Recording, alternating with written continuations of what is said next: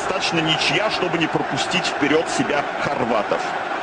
Греция играет как минимум в ничью и тоже попадает с первого места на Евро. Вот весь расклад.